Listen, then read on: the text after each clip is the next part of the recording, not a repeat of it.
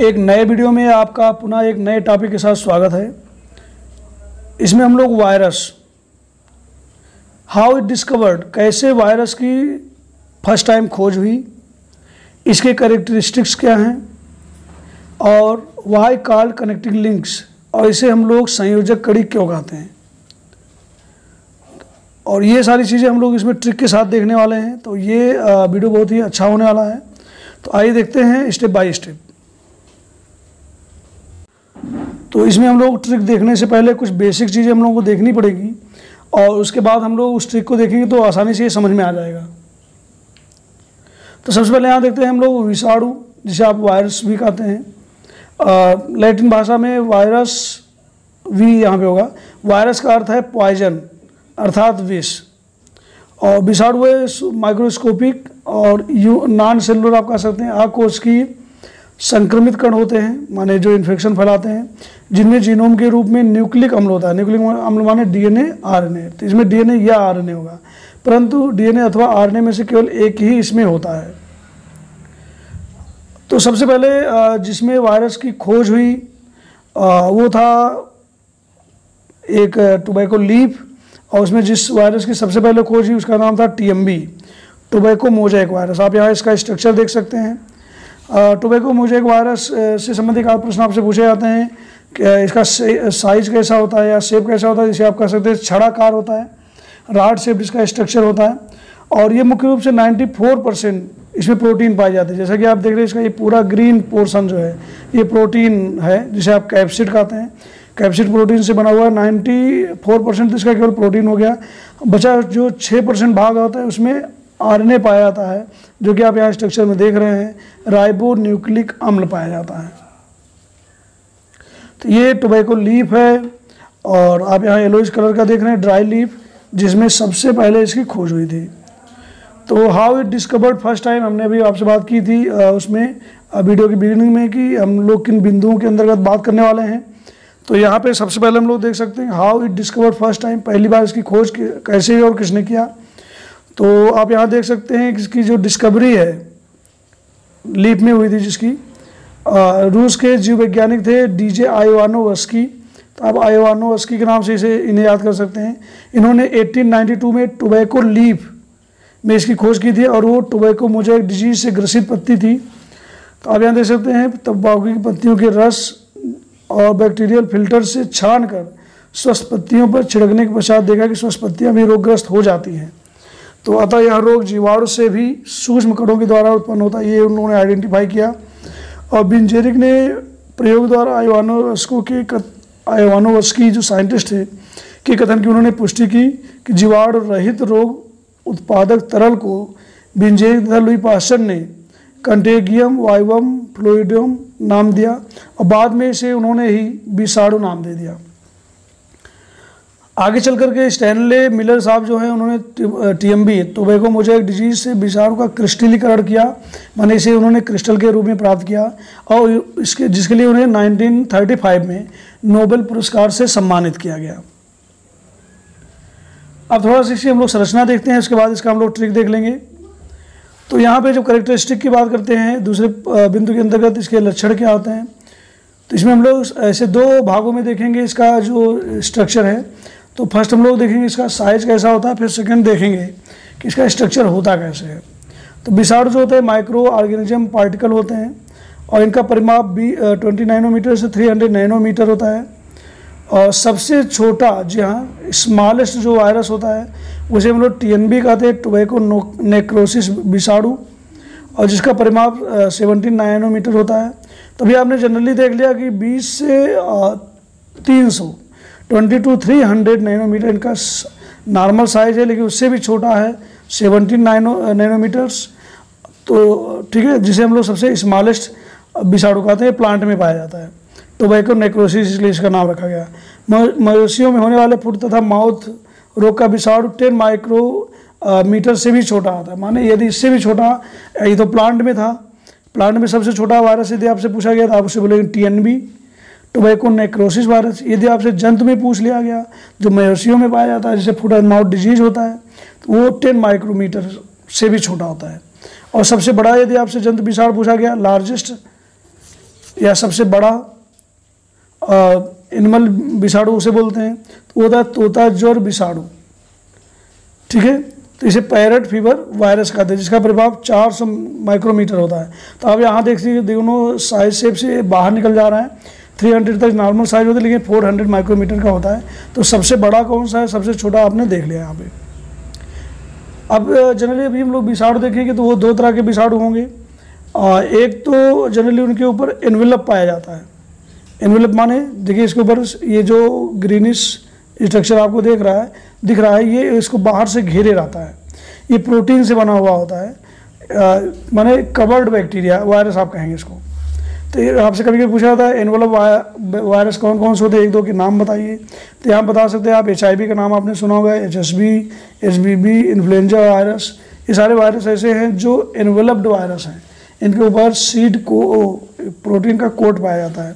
और कुछ envelope less भी बैक्टीरिया होते हैं। जैसे यहाँ पे noro virus paro virus H A B H E B तो ये ऐसे वायरस हैं जिनमें इन्वेलप नहीं होता है इनके ऊपर कोई कवर नहीं होता है। ये इसके अंदर डी एन ए बल्कि पाया जा रहा है। और साथ ही साथ ये एक अलग से लेयर इसमें दिख रही है, जो कैप्सिड प्रोटीन से बन के मतलब बना होता है। थोड़ा सा हम लोग स्ट्रक्चर पूरा डिटेल में देखने से पहले और ट्रिक देखने से पहले जनरल जो वायरस का शेप और साइज़ होता है, वो यहाँ पे हम लोग देखने का प्रयास करते हैं। तो यहाँ पे ये एक वायरस दिया हुआ है। इसमें देखिए सबसे बाहर की ओर दिखा रहा है इन्वेलप प्रोटीन जो इन्वेलप के ऊपर है, जो इसको कवर किया हुआ है, उसके ऊपर एक प्रोटीन लगी हुई है।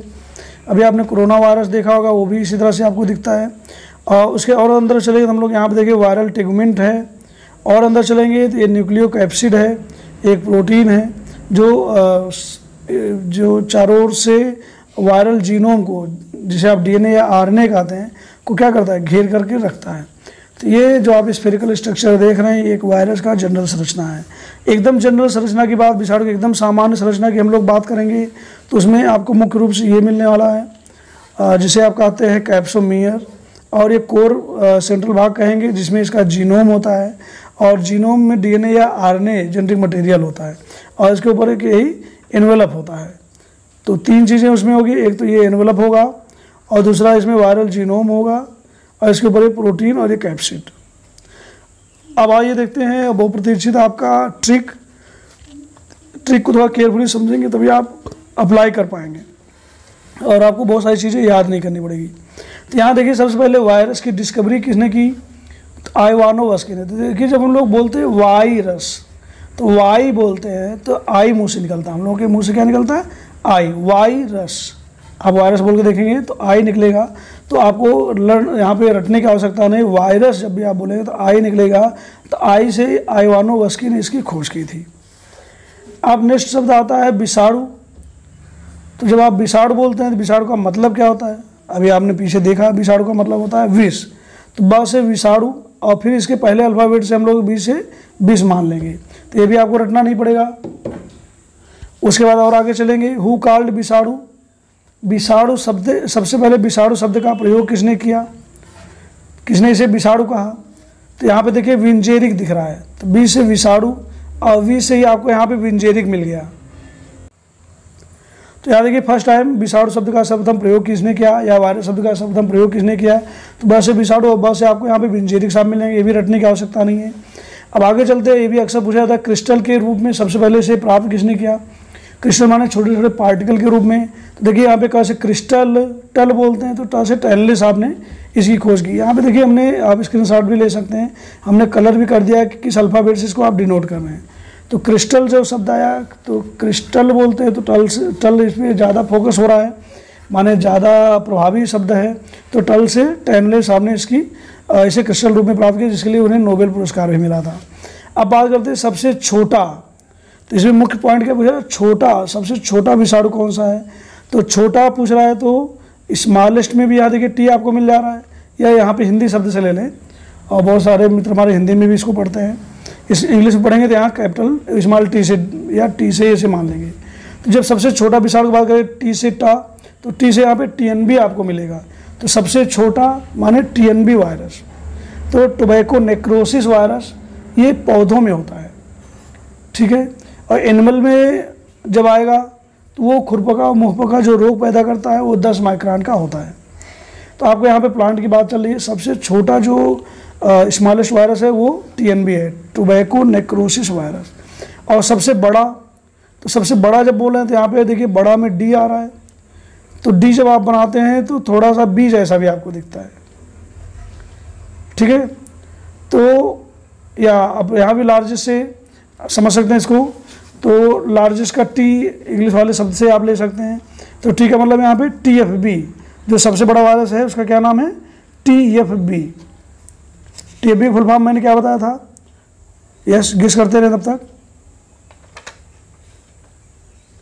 टी एफ़ बी जो सबसे बड़ा वायरस है, उसे आप लोग बोलते हैं, याद करिए।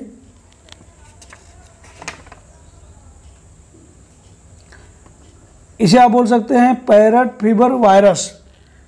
तो पैरट फीवर वायरस भी बोल सकते हैं, लेकिन टी लिखा है तो टी से तोता फीवर वायरस आप बोलेंगे। क्या बोलेंगे? तोता फीवर वायरस।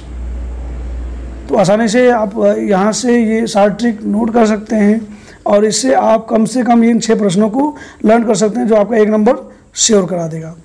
आगे चलते इसकी संरचना की बात करते हैं। अभी हम लोगों ने चित्र में देखा, वही चीज़ यहाँ पे मिलेगा आपको। सभी विषाणुओं के केंद्र में अनुवांशिक पदार्थ के रूप में डीएनए अथवा आरएनए पाया जाता है और अनुवांशिक पदार्थ प्रोटीन से निर्मित एक कवच से घिरा एवं सुरक्षित रहता है। इसे कैप्सिड भी हम लोग कहते हैं। और कैप्सिड अनेक छोटी छोटी कभी कभी आपसे कैप्सिड किसे कहते हैं? तो कैप्सिड छोटी छोटी उप इकाइयों से बना होता है। इन इकाइयों इकाइयों को हम लोग कैप्सोमियर कहते हैं। अनुवांशिक पदार्थ कैप्सिड द्वारा निर्मित संपूर्ण कण जो संक्रमण फैलाने में सक्षम हो, वो विषाणु कहलाता है। कुछ विषाणु जैसे हर्पीज या इन्फ्लुएंजा विषाणु में कैप्सिड के बाहर एक आवरण भी पाया जाता है और इन विषाणुओं में न्यूक्लियर अम्लों से संबंध कुछ एंजाइम भी पाए जाते हैं, जिसके कारण इनमें द्विगुणन तथा अनुलिपिकरण करने में सहायक होते हैं। तो ये हम लोगों ने संरचना देख ली। Which called connecting link between living and non living thing सबसे अधिक यही पूछा था इसे संयोजक कड़ी क्या बोलते हैं? सजीव और निर्जीव के बीच की। तो एक प्रश्न ये भी है कि इसे कनेक्टिंग लिंक क्यों कहते हैं हम लोग? संयोजक कड़ी क्यों कहते हैं? क्यों कहते हैं? कि विषाणुओं को सजीव जगत और निर्जीव जगत का संयोजक कड़ी हम लोग इसलिए मानते हैं, क्योंकि इसमें दोनों के ही लक्षण पाए जाते हैं। पादप विषाणुओं में अनुवांशिक पदार्थ आरएनए होता है, जबकि जंतु विषाणुओं में आर या डी दोनों होता है। यहाँ पे हम लोग थोड़ा करेक्टर बारी बारी से देखेंगे। पहले इसके हम सजीवों के, निर्जीवों के समान लक्षण देखेंगे। तो यहाँ देख सकते हैं विषाणु निर्जीवों के समान निम्नलिखित लक्षण दर्शाते हैं। मतलब आपको पता होना चाहिए, जब ये किसी भी जीवित कोशिका के बाहर आता है तो निर्जीव के रूप में आता है। ये हज़ारों वर्षों तक, सैकड़ों वर्षों तक वैसे निर्जीव के रूप में पड़ा रह सकता है। जब भी ये किसी सजीव कोशिका के अंदर प्रवेश करेगा तो ये सजीव की तरह व्यवहार करेगा। कैसे व्यवहार करेगा, अभी आगे हम लोग देखेंगे। सबसे पहले निर्जीव की तरह देख लेते हैं। इनका कोई निश्चित कोष की संरचना नहीं होती, क्योंकि ये आग की होता पहले हम लोग देख चुके हैं। इनमें कोशिका वित्तीय तथा कोशिका कला द्वारा घिरे नहीं होते हैं। माने सेल वाल या सेल मेम्ब्रेन नहीं होती। एक के उपापचय नहीं दर्शाते हैं। लिविंग सेल के संपर्क में आने पर ये सक्रिय हो जाते हैं, तथा कोशिका के बाहर अक्रिय कणों के रूप में रहते हैं। विषाणुओं को रासायनिक पदार्थों के बाद क्रिस्टलीकरण किया जा सकता है। तो जैसे हम लोग केमिकल सबस्टेंसेस रखते हैं, वैसे इनको भी हम क्रिस्टल के रूप में स्टोर कर सकते हैं। अब ये जब किसी लिविंग सेल के अंदर प्रवेश कर जाएँगे तो कैसा लक्षण प्रेजेंट करेंगे, अपने प्रस्तुत करेंगे, वो आप यहाँ देख सकते हैं। सजीवों के लक्षण लिविंग करेक्टर्स विषाणु सजीवों के समान निम्नलिखित लक्षण दर्शाते हैं। सजीवों के बाद इनका निश्चित परिमाप, आकार और आकार की होता है। और सजीवों के बाद विषाणुओं में डीएनए अथवा आरएनए अनुवांशिक पदार्थ पाया जाता है। इनमें उत्परिवर्तन होता है। माने इसमें परिवर्तन भी होता रहता है। जैसे अभी आपका जो कोरोना वायरस है बार बार अपना स्ट्रक्चर वो परिवर्तित कर रहा है, इसलिए वैक्सीन उसकी प्रिपेयर नहीं हो पा रही है। ये वीडियो मैं इस समय बना रहा हूँ जो कोरोना का संक्रमण चारों तरफ़ है। और अपने उन मित्रों को हेल्प करने के लिए जो घर में बैठ के ऑनलाइन स्टडी कर रहे हैं। तो यदि आप भी इस चैनल पर नए हैं तो इसे आप सब्सक्राइब करके बेल आइकन प्रेस करके और लेटेस्ट वीडियो की अपडेट पा सकते हैं। और आपको कोई कन्फ्यूज़न कहीं पर आता है तो उसे आप इसमें कमेंट करके क्वेश्चन के रूप में पूछ सकते हैं। आप यहाँ देख सकते हैं, सजीव कोशिका में विषाणु जो होता है मल्टीप्लाई करता है, संख्या में वृद्धि करता है, एक से दो दो से चार चार हज़ार। और ये हीट या अल्ट्रावायलेट रेस या ह्यूमिडिटी या एल्कोहल इत्यादि के प्रति अनुक्रिया दर्शाते हैं, माने उससे इनके ऊपर प्रभाव पड़ता है। विषाणुओं में एंटीजेनिक गुण होते हैं, विषाणु प्रपोषी होस्ट स्पेसिफिसिटी दर्शाते हैं। आगे चलते हैं कि विषाणुओं में गुड़न जो इसका अभी तो हम हम लोगों ने यहाँ पे फाइव करेक्टर देख लिए या मुख्य रूप से छठा करेक्टर यहाँ थोड़ा सा देख लेते हैं। कि जो विषाणु होते हैं अविकल्पी और वाहकारी परजीवी होते हैं और सजीव कोशिकाओं के बाहर न्यूक्लियर प्रोटीन के कण होते हैं। विषाणु में अनुवांशिक पदार्थ डीएनए, आरएनए होता है, लेकिन इसका उपयोग करने के लिए विषाणु का अपना मेटाबॉलिक मशीनरी नहीं होता है। तो माने ये तो निर्जीव हैं, लेकिन जैसे किसी सजीव कोशिका में, पोषक कोशिका में पहुँचेंगे तो डीएनए आरएनए पोषक के अनुवांशिक पदार्थ या जीनोम को ये निष्क्रिय कर देंगे, निष्क्रिय कर देंगे। और पोषक कोशिका के उपापचय साधन का उपयोग अपने न्यूक्लिक अम्ल, प्रोटीन संश्लेषण के लिए करने लगे। माने आपकी मशीनरी का यूज़ करेंगे, जो कोशिका में आपके डीएनए आरएनए और न्यूक्लियस, बहुत सारे कोशिकांग हैं, उनका यूज़ करने लगेगा। इसके फलस्वरूप विषाणुओं का गुणन या पचरोधन पचरो आप कह बहुत अधिक मात्रा में वृद्धि होने लगती है प्रचुरोध भवन होने लगता है, और विषाणुओं के निर्माण की इस प्रक्रिया को आप लाइटिक साइकिल कहते हैं।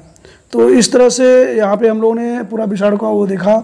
इससे संबंधित मित्रों, यदि आपको कोई कोई कन्फ्यूज़न है तो आप कमेंट करके पूछ सकते हैं। वीडियो कैसा लगा आपको? कमेंट करके ज़रूर बताएँ और लाइक करना ना भूलें। तो धन्यवाद।